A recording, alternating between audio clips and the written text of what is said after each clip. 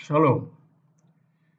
Today I'm going to share with you a couple of videos on a subject that you will see shortly to be extremely important for the end times.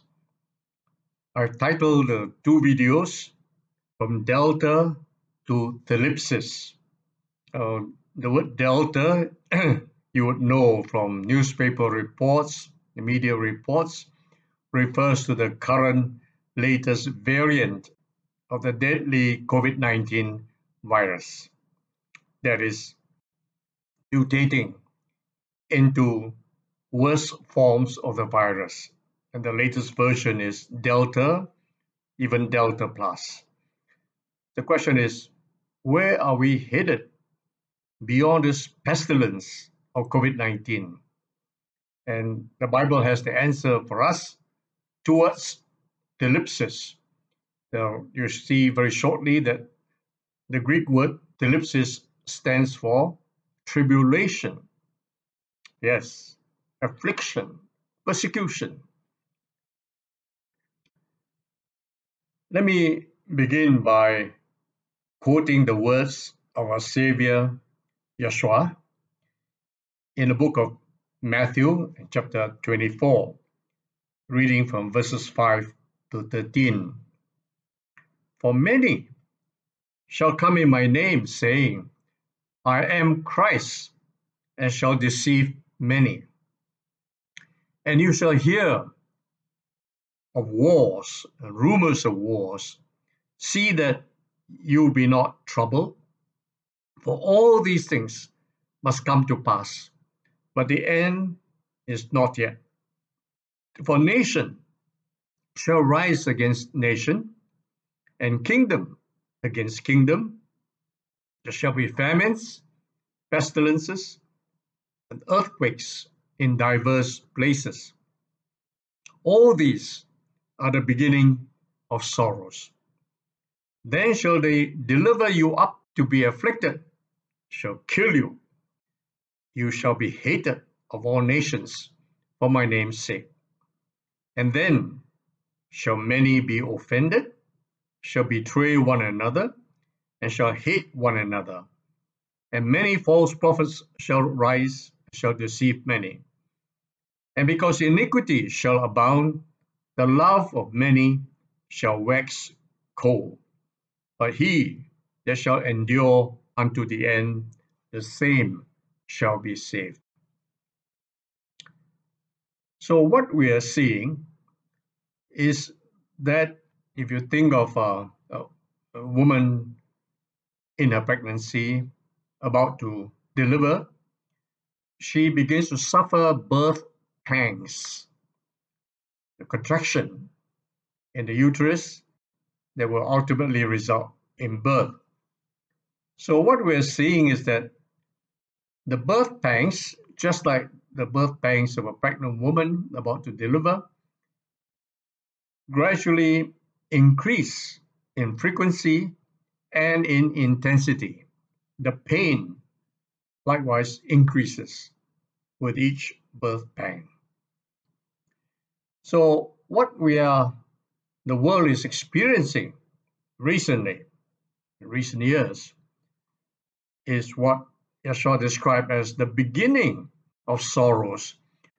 Now, the Greek word for sorrows is actually birth pangs. Should be translated as birth pangs. For example, ethnic conflicts.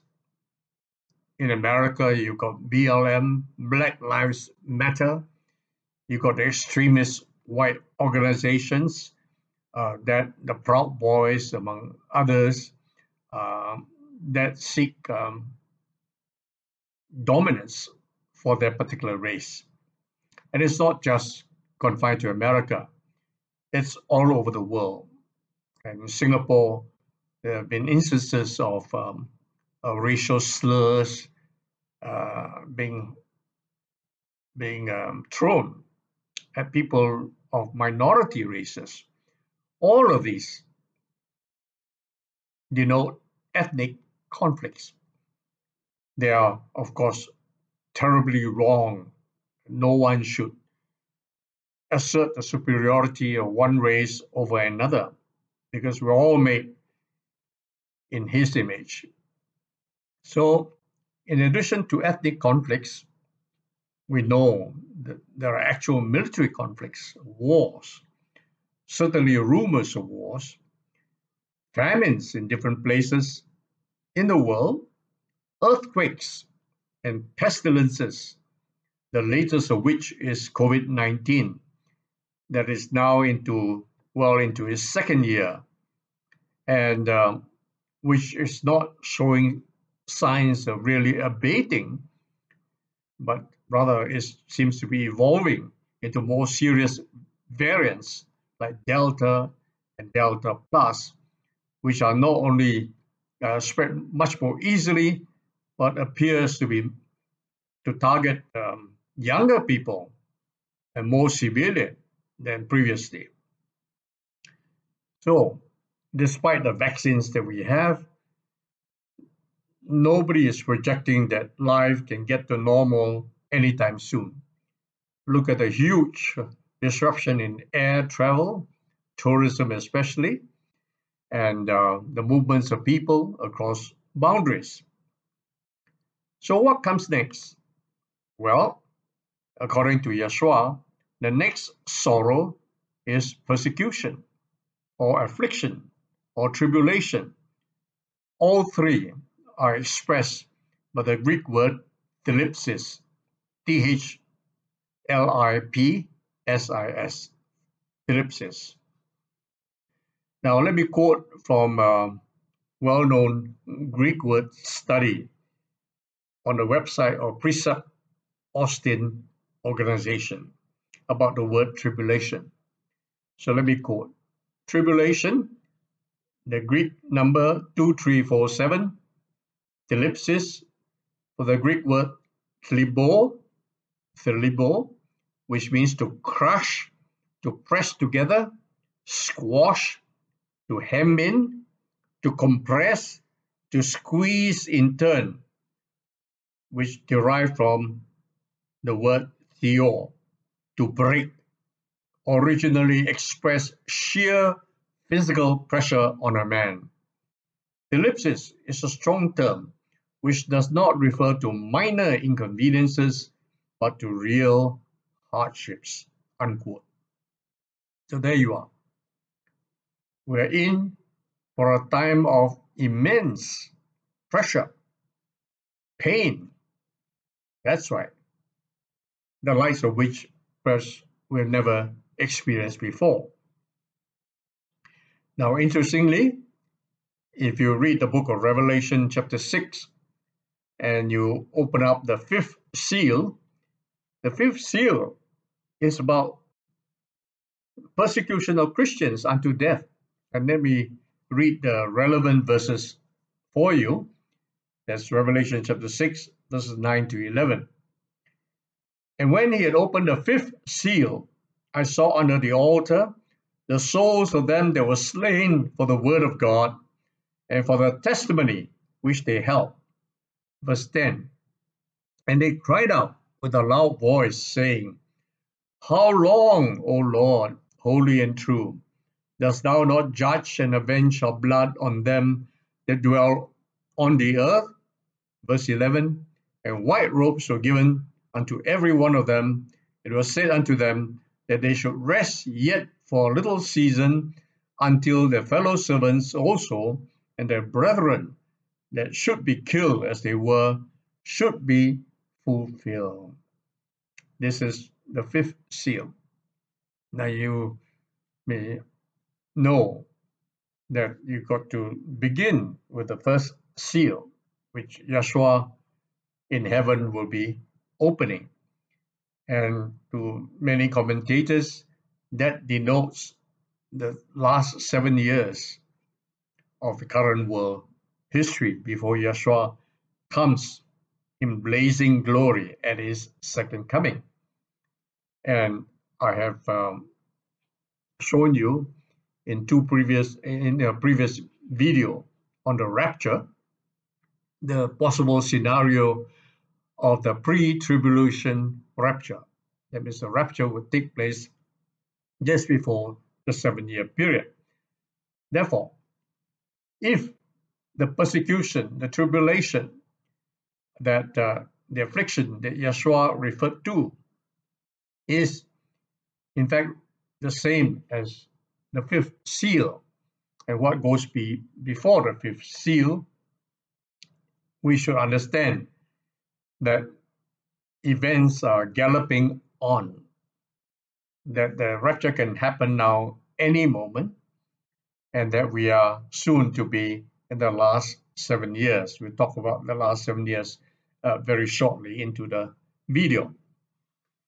But let us take a step backwards and ask ourselves a very important question which many Christians are perplexed about.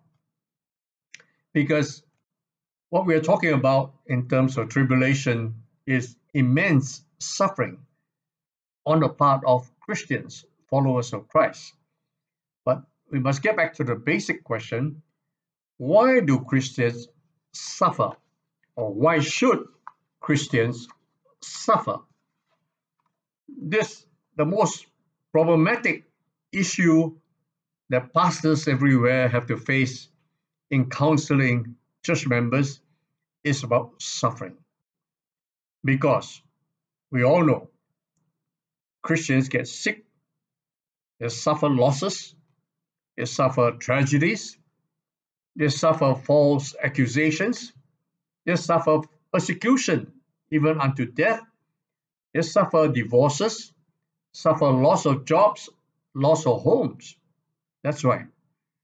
And in a pandemic, they suffer COVID 19 as well. Remember one of my earlier videos where I, I uh, told you what Peter wrote that judgment must begin with the household of God. So don't expect in the pandemic to get off scot free just because uh, you are a Christian. You may well be the first target if you're not careful. So question is why? Why must this be so, O Lord? Didn't Yeshua promise us the abundant life? And don't we hear from a lot of prosperity and faith teachers that preach prosperity, preach good health, as the norms of Christian life. Why then do Christians fare poorly compared to non Christians? Well, to answer at least one of the questions in short, uh, it's simply that the faith prosperity teachers are all false teachers and false prophets They promise things that don't exist in the Bible. And I have another video that shows you the abundant life that Yeshua referred to does not necessarily refer to abundance in material things. It is actually, above all, abundance in terms of spiritual development, spiritual riches, the fruits of the Spirit, and the prospect of going to heaven to enjoy Him forever and ever. Okay, so the Bible actually gives us several reasons, several explanations about the sufferings of Christians. First of all, first of all, and you may not like it, we suffer on account of our own sins. Let me just refer to you, uh, you to a few verses in Deuteronomy 28 I'm going to read only from verses 15 to 21, but you should read the rest of the chapter for the rest of the curses that come upon people when they sin against Yahweh. So, verse 15 of Deuteronomy chapter 28. But it shall come to pass, if thou wilt not hearken unto the voice of the Lord thy God, to observe all, to observe to do all his commandments and his statutes, which I command thee this day, that all these curses shall come upon thee and overtake thee. Cursed shall thou be in the city, cursed shall thou be in the field. Cursed shall be thy basket and thy store. Cursed shall be the fruit of thy body, and the fruit of thy land, the increase of thy kin, and the uh, flocks of thy sheep. Cursed shall thou be when thou comes in, and cursed shall thou be when thou goes out. The Lord shall send upon thee cursing, vexation, and rebuke in all that thou setst thy hand unto for to do, until thou be destroyed, until thou, thou perish quickly, because of the wickedness of thy doings, whereby thou hast forsaken me. In verse 21, the Lord shall make the pestilence cleave unto thee, until he has consumed thee from the land whither thou goest to possess it. These verses and the rest of the chapter, of course, were addressed to the nation of Israel, but they apply equally to all of us because the Torah was given not just to Israel, it was given through Israel to the whole world, applicable to every man, uh, every person in the entire world. So, we suffer because of our sins. And this is confirmed for us in First Peter, first letter of Peter, chapter 4 and verse 15. But let none of you suffer as a murderer, or as a thief, or as an evildoer, or as a busybody in other men's matters. And you will understand that if somebody kills somebody else, I'm talking about Christians, the law of the land may dictate that you be hanged until you're dead, or you may be sent to life imprisonment. You can be flogged for certain offenses and so on, and penalties and fines and so on. This is just earthly punishment dealt out by governments uh, everywhere. But in the spiritual, in the physical, there's the impact of the suffering inflicted by Yahweh Himself because of our sins. So typically, when people come for ministry and they are sick, the first issue I have to address is their sins. They need to confess and repent of their sins. And then the Holy Spirit sometimes will reveal to the word of knowledge the specific sin or sins that brought about the sickness that a person is experiencing. So these things are very spiritual and very, very real. Okay? And there are any number of preachers that just stretch forth their hand and proclaim healing when Yahweh has not healed. And you cannot deal with healing without dealing with sin. And remember, if you read the four Gospels, that virtually every time that Yeshua healed somebody or cast out demons or somebody, he always added the injunction go your way and sin no more, lest something worse befalls you. So that, that really confirms for us that a lot of sicknesses that we um, experience is the result of sin and judgment by Father Yahweh. But we'll do some qualification to this statement a bit later on. So that's suffering on account of our own sins. The Bible also tells us that some of the suffering that we have is actually on account or because of our forefathers' sins. So let me read to you some relevant verses from the book of Exodus in chapter 20. I read from verse 4 to 6. Thou shalt not make unto thee any graven image or any likeness of anything that is in heaven above, or that is in the earth beneath, or that is in the water under the earth. Thou shalt not bow down thyself to them, nor serve them, for I Yahweh, thy Elohim, thy God, am a jealous God, visiting the iniquity of the fathers upon the children unto the third and fourth generation of them that hate me, and showing mercy unto thousands of them that love me and keep my commandments. So you can see the most immediate reason for the um, curses visited upon children and grandchildren and great grandchildren unto the fourth generation has to do with idolatry, the making of graven images, and the bowing down to such. That's the most serious sins.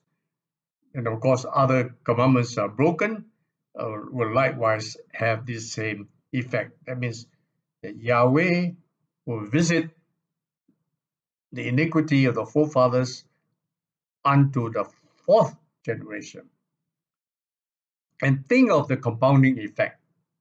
If subsequent generations repeat the sins or commit other sins and are unrepentant, it goes down another four generations and on and on and on. So you can see the multiplication effect uh, throughout all the generations. You can see very obvious examples of this cancer, strokes, heart attacks, mental illness, all these, all these are most of cases genetically, what we call medically, genetically transmitted. Very often in insurance uh, uh, policy applications, uh, you are asked a question, um, did any member of your family suffer a stroke or heart attack or whatever, whatever, okay? So you want uh, coverage for critical illnesses and so on, like cancer, There will be a question about cancer. Why is that? Because the likelihood of recurrence of the same disease down the generations is experienced very often. So there you are. And don't forget something else.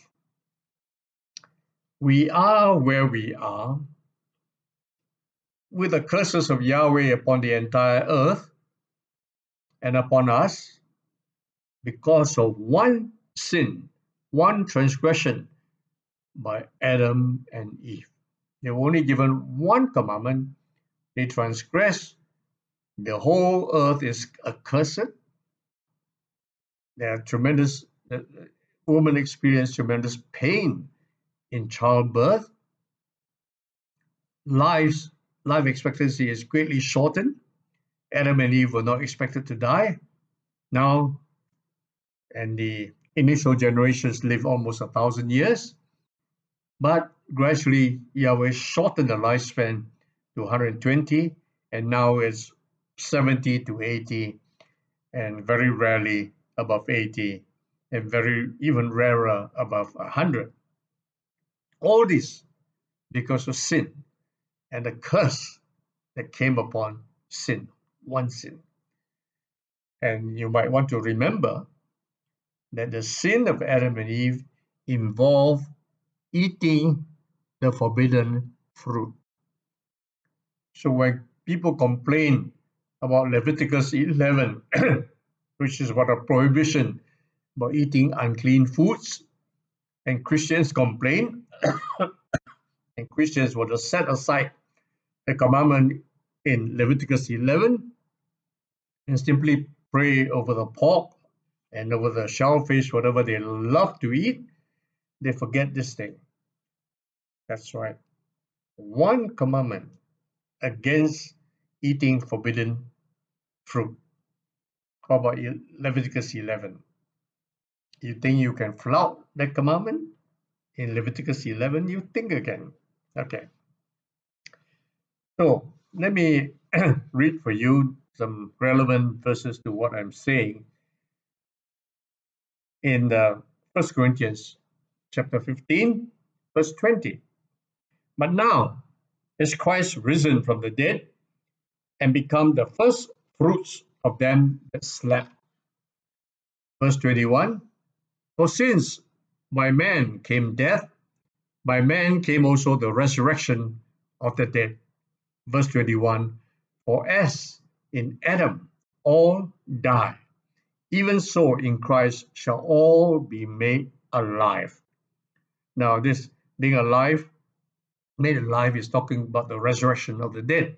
Yes, everyone who dies physically or has died physically since Adam and Eve will be resurrected. Okay? First resurrection, resurrected to glory. Second resurrection, resurrected unto damnation. But all will come to life again. All will have new bodies. Some will make it to heaven.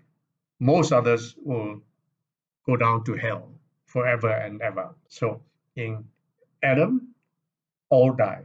In Christ, all shall be made alive. But in Christ, you want to make sure you're among those that will be resurrected in the first resurrection and taken up to heaven with our new bodies, hopefully at the rapture. But even for those who die before, they're in Christ, walking righteously before Him, they will partake of the first resurrection unto eternal life. Look at uh, Romans chapter 5 and verse 12. Wherefore, as by one man sin entered into the world, and death by sin, so death passed upon all men, for all have sinned. And then Romans chapter 5 again, verse 17 to 19. For if by one man's offense death reigned by one, much more they which receive abundance of grace and of the gift of righteousness shall reign in life by one, Jesus Christ. Therefore, as by the offense of one judgment came upon all men to condemnation, even so, by the righteousness of one, the free gift came upon all men unto justification of life. For as by one man's disobedience many were made sinners, so by the obedience of one shall many be made righteous. This is what Yeshua has done for us. This is what our salvation is all about. That's what redemption is all about. But please note uh, important caveat that although although the sins of the forefathers are visited physically, mentally upon their descendants in this life, in this world, each person will only face eternal death on account of his own sins. And here I refer to the book of Ezekiel, chapter 18 and verse 20. The soul that sins, it shall die. The son shall not bear the iniquity of the father, neither shall the Father bear the iniquity of the Son. The righteousness of the righteous shall be upon him, the wickedness of the wicked shall be upon him. Now, the words here shall die does not mean physical death, because that issue has already been settled since the sin of Adam and Eve, that all their descendants will die physically. Ezekiel 18 is talking about the second death eternal damnation, condemnation. So it's reassuring to us that our forefathers' sins, no matter how grievous, how serious they are, will not result in our being sent to hell for all eternity, because all of us still have a chance for salvation, provided we come to Christ, walk in His footsteps, walk in obedience to Him. And likewise, just because your father was righteous, he was a pastor, a godly man, doesn't mean that his righteousness can be transferred to you, his son, or his grandson. Remember, I said more than once God is a father, is not a grandfather, not a great grandfather. By that is meant each one of us have to find our relationship with Him, that He would be our Father and we are accounted as worthy to be called his son, to be accepted, to be adopted by him eventually as his sons and daughters. How glorious that would be. So there you are. The effects of the consequences of the sins of the forefathers. They have temporal consequences, temporal adverse consequences on us, but they cannot affect our eternal consequences. Uh, that must be settled between Yahweh and ourselves. That depends upon how we relate to Yahweh through his dear son, Yeshua, who died on the cross for our sins nearly 2,000 years ago. And you and I must repent of our sins and accept what Yeshua has done for us and allow his power, his special grace, special enablement to walk a godly life, a righteous life before him, walking in obedience all the days of our lives. This is what salvation is all about. Okay, then note something else. Not only do we suffer because of the sins of our forefathers, but we suffer also because other people's sins around us. That's right. We are living in a sinful world where wicked people kill, they steal, they destroy, they rape. Look at the hundreds of millions of people who died in the Second World War caused by a man called Hitler, the millions caused by a man called Stalin, the millions who perished in China because of Mao Zedong's uh, Great Leap Forward program. Look at America today. So sad. Hardly a day goes by without some shooting incident in which bystanders get killed or injured. And the bystanders could well be Christians in addition to non Christians. So we suffer because of other people's sins. The greed of other people can impact us. Look at the extreme poverty in the world. So many people are going to bed hungry, not because there's not enough food, but because of inequitable distribution of food, inequitable distribution of income, inequitable distribution of wealth, Look at potable water. 40% of the people in the world have no access to drinking water, potable water. So it really shows us that we ought to treasure the food that is given to us, the water that's given to us, and give thanks to Yahweh every day, and let us not waste any food that is set before us. Let us not waste precious drinkable water. Conserve all the water that you can. Think of those doing without. Now we address a related issue because I've been talking about the curses that come upon us because of our sins. So people will raise the question. Christians often raise this question. But um, brother, didn't Yeshua take all our curses upon himself. And they would turn or refer to the book of Galatians and chapter 3, uh, verses 13 and 14. Christ has redeemed us from the curse of the law, being made a curse for us. For it is written, Cursed is everyone that hangs on a tree, that the blessing of Abraham might come upon the Gentiles through Yeshua the Messiah, that we might receive the promise of the Spirit through faith. So people use these verses to say, look, why do you say that I get sick because of the sins of my forefathers, the curses come down to the generations? What about these verses? Well, let me reiterate the following important points.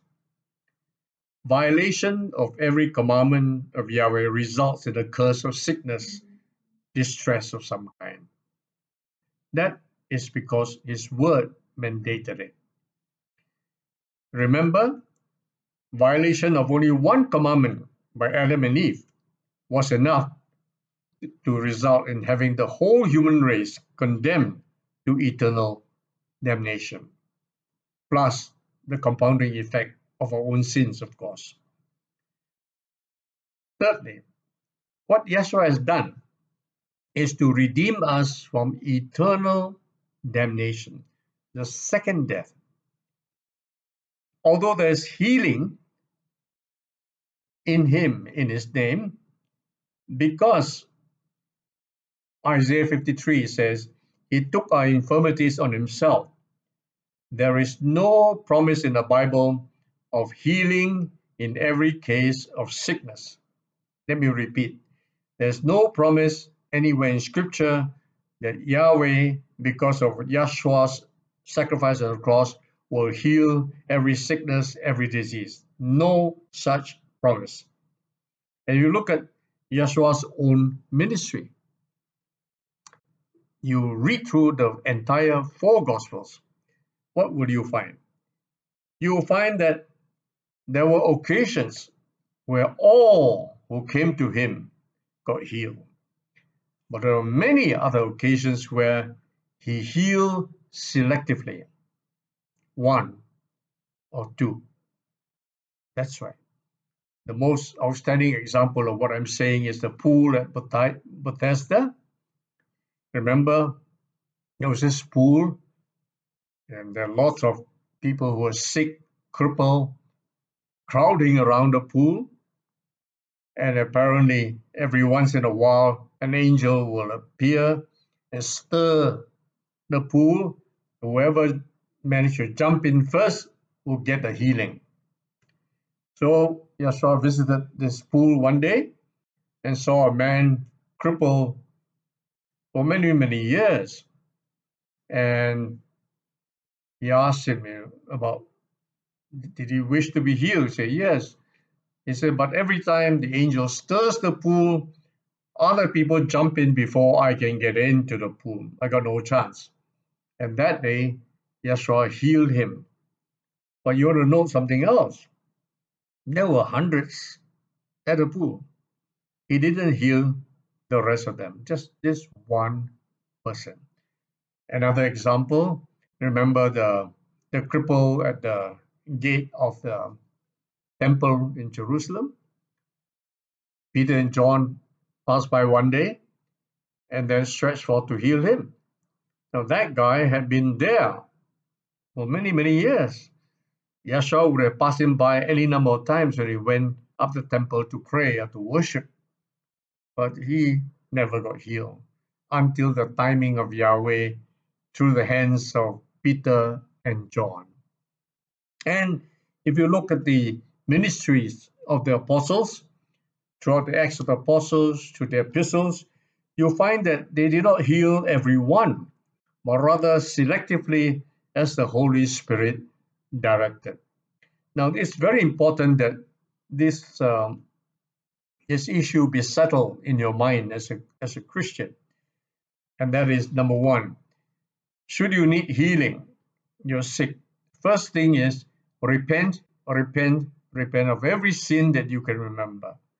Repent of any sins of your forefathers, and wait upon the timing of Yahweh.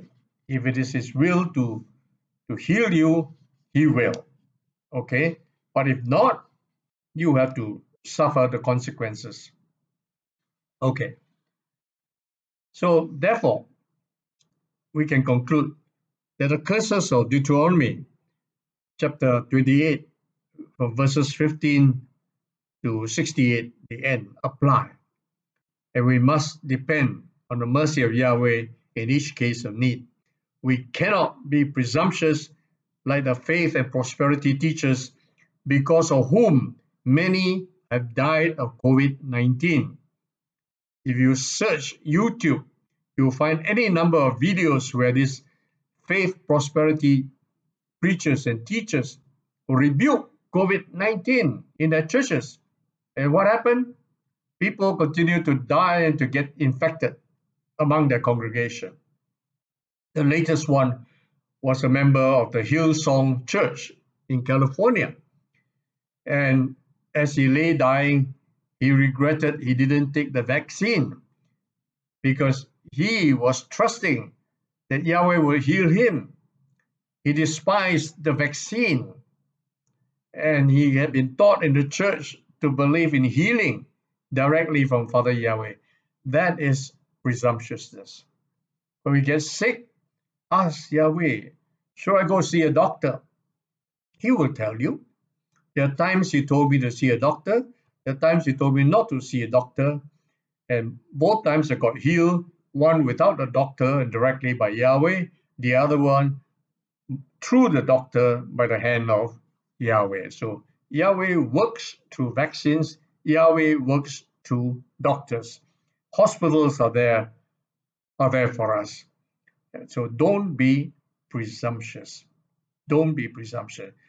And I dare say something else that because of the presumptuousness of many Christians and their false teachers and pastors, COVID 19 is spreading like wildfire because in places like America, Australia, and so on, there are so-called where so-called Christian nations. They um, they preach healing, and they expect healing from Yahweh, and they teach their people that they're immune to COVID nineteen because they're under special protection by Father Yahweh, but they become super spreaders of the virus look at my videos on COVID-19. And there's one video I did where we are told to hide themselves in thy chambers till the indignation is over, till the indignation of Yahweh is past. So don't be presumptuous. And I want to add another note that because of the presumptuousness of large numbers of Christians, and by the way, South Korea is another good example, of churches defying the government on the lockdowns, uh, not the prohibitions to uh, to gather together in worship in large numbers, the result is super spreading of the virus. And this could result in something else. This is going to, to plant the idea of persecution against Christians very shortly. They will become Christians will become the target of persecutions in many countries because of COVID 19, because of their resistance to the vaccine, because of their false doctrines about COVID 19. All right, so let me add another very important issue, and that is that suffering can occur by Yahweh's design so as to show forth his works that he will be glorified. Now, this may, this may sound strange uh, to most Christians, but this is true.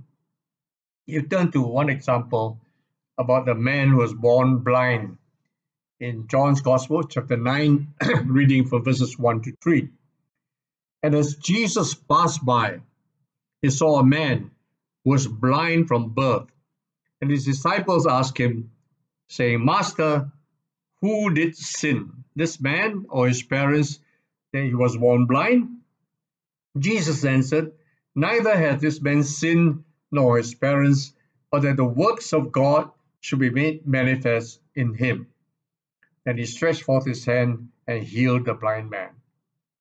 Interesting. The, the Jews, which are probably the Pharisees, when asked the questions of Yeshua understood from scriptures that sickness can come because of one person's sins, Deuteronomy 28, because of forefathers' sins, Exodus 20 that we read out earlier. They were spot on, Uh, two key reasons. But they didn't realize there was a third reason behind sickness, behind this stress, and that is that Yahweh will be glorified when the healing eventually takes place. Now, of course, we do not know beforehand which case belongs to which category, but this is a fact. Let me give you another example. You probably know about Helen Keller, was was uh, deaf and blind from the age of two, famous pianist and famous author. Let me give you a couple of quotes now and one more later. Quote, the best and most beautiful things in the world cannot be seen or even touched. They must be felt with the heart. Unquote. Quote again, the only thing worse than being blind is having sight but no vision. Unquote. These are two beautiful quotes. And the first one, you see, we who are blessed with normal eyesight, we can see things around us, but what do we do with our eyesight? Most of the time we sin with our eyes, but we lack something which is more important. What cannot be seen or touched, but that is of the heart. Because the heart is capable of responding to Yahweh, responding to His love, responding to His salvation. That's right, responding to His voice. And Helen, being deaf and blind, was all, the heart was all attentive to the Lord. She could hear, she could see, perceive, feel with the heart, which most people with normal sight cannot. And then look at her uh, important uh, quote that the thing being worse, which is worse than being physically blind, is having no vision. And of course, she's referring to spiritual vision. In the book of Proverbs, as a prophet says, without vision, the people perish. We need to have spiritual vision, spiritual eyesight, not merely physical eyesight. Let me turn to another important issue Mongoloid children. You probably have seen examples of them uh, everywhere. they look strange. They all have a certain look that makes them look alike. Okay, so let me read first from Psalms 139, verses 13 to 16. Psalms 139 For thou hast possessed my reins, thou hast covered me in my mother's womb. I will praise thee, for I am fearfully and wonderfully made. Marvelous are thy works, and my soul knows right well. My substance was not hid from thee when I was made in secret and curiously wrought in the lowest parts of the earth. Thine eyes did see my substance, yet being imperfect. In thy book all my members were written, which in continuance were fashioned, when as yet there was none of me. Everyone, normal as well as Mongolite, can say, I am fearfully and wonderfully made. Fearfully and wonderfully made. It might shock you to address this issue or to address these verses of Psalms 139, the Mongolite children. But let me show you something else. So called normal babies normal children, normal human beings, are born with 46 chromosomes. A Mongolite child has 47, otherwise known as trisomy 21, T R I S O M Y 21. And I quote from a source. Although trisomy 21 causes intellectual and physical challenges, it is also true that with appropriate support and treatment, many people with Down syndrome lead happy and productive lives. My wife and I often joke that the hardest part of raising a child with Down syndrome is having to deal with people that do not have Down syndrome. Raising Natalia has helped me understand the danger of reducing a person's potential to her genetic profile. Although it has been unquestionably a lonely road for our family, Natalia's humor and perseverance through adversity have brought us joy and a sense of purpose. In the course of loving and caring for my daughter, I come to realize that the image of God does not need to be thought of as an inventory or checklist of desirable human traits.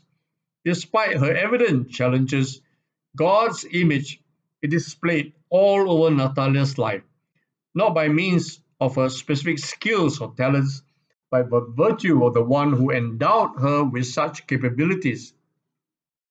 Her contagious belly laugh and her dancing abilities are a reflection of a purpose rather than a justification of a worth. I've come to understand God's image upon individuals with and without congenital impairments as a divine seal that denotes our intrinsic worth despite the presence or absence of any given feature, unquote. This is by a man called Samuel L. Caraballo. And the title of his short article, Down Syndrome and the Image of God. And the website is available via logos.org stroke articles. And you find the Down syndrome and the image of God article. Now, what a beautiful testimony. But unfortunately, you know something else. That because of scanning, you can detect mongoloid uh, features in fetuses. And this has resulted in abortions of a lot of mongoloid babies. I'm told that in Iceland, that there are virtually no more mongoloid uh, babies being birthed because the fetuses are already being aborted. Now, this is a horrible thing that has taken place. Scanning has become a curse. Scanning has become a murder weapon in countries like China and India because of a preference, oriental preference for male heirs. Baby daughters are aborted once they're identified, the gender is identified in the womb. So whether gender or mongoloid features or other physical impairments and so on, innocent fetuses have been aborted. And so as Christians, we must stand against all these abominations. Let me pause for this part of the video and continue shortly in part two of uh, the same subject. Shalom for now.